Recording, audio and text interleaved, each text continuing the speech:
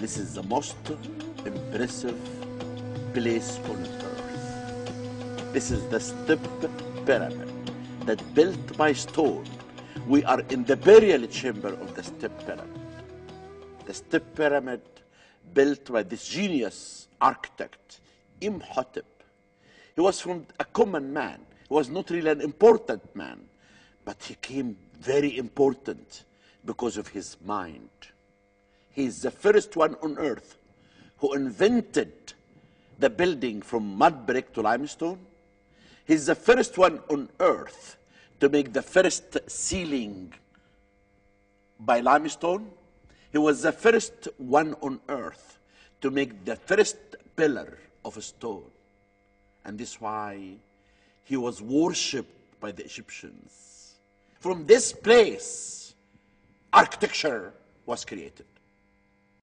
This burial chamber is cut under the ground.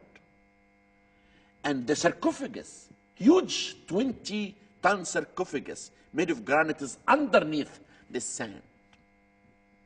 We are in the 21st century now, trying to restore this pyramid. Trying because we are afraid that these tunnels and passages can, can fall down. People always love to hear about discoveries and uh, secrets from the sand, mummies, and things like this. But what I'm going to tell you now is not a discovery, but it's more thrill than a discovery. Restoring the step pyramid, the oldest pyramid in Egypt, that almost dated back to 4,900 years ago. I was underneath this pyramid for about 36 meters under the ground. What's amazing, I used to come to this burial chamber, and I talked about all the time. When I come by here, it was full of stone rubbles and sand for about four meters high. And I used to say it will never, and we'll never see the sarcophagus in our life. I never thought that we'll be able to do conservation and restoration and clean this sarcophagus. What's happened in the past? 500 BC, this burial incredible chamber fell down. And the people in that time came and they restored the chamber. And later, the burial chamber began to be destroyed.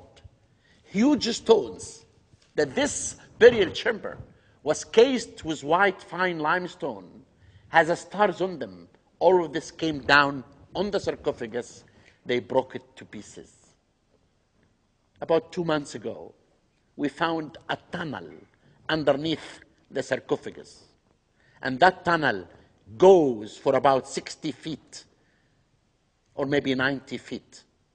But going in this tunnel, crawling, and see yourself under the base of this sarcophagus that maybe weight for 60 tons.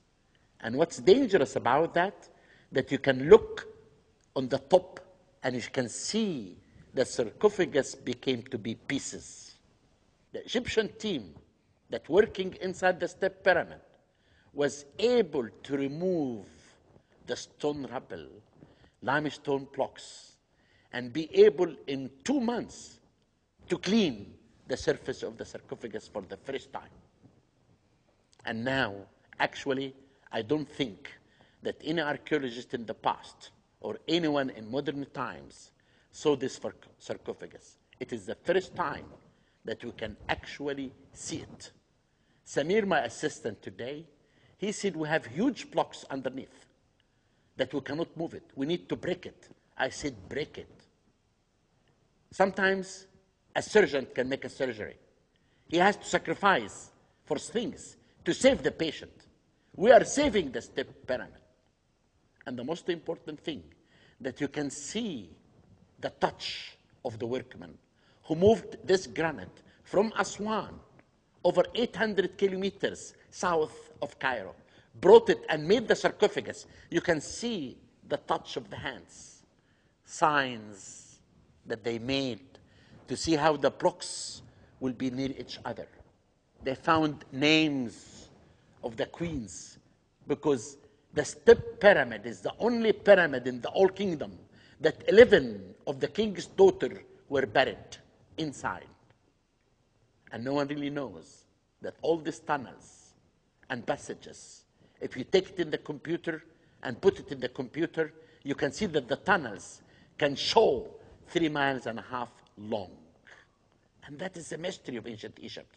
How the Egyptian imagined the other world, full of tunnels and passages, dark, is something that I will be proud all my life. Restoring the step pyramid. No one can do it. Many foreign expeditions tried, and they came and they failed.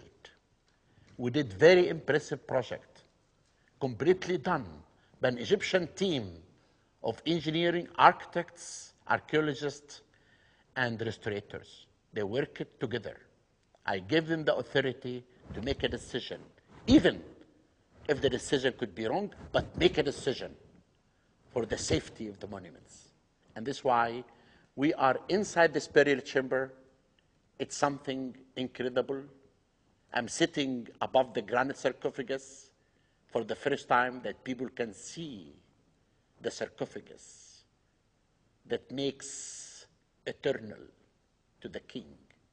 And we are giving eternal to this unique pyramid, the step pyramid of Zoser.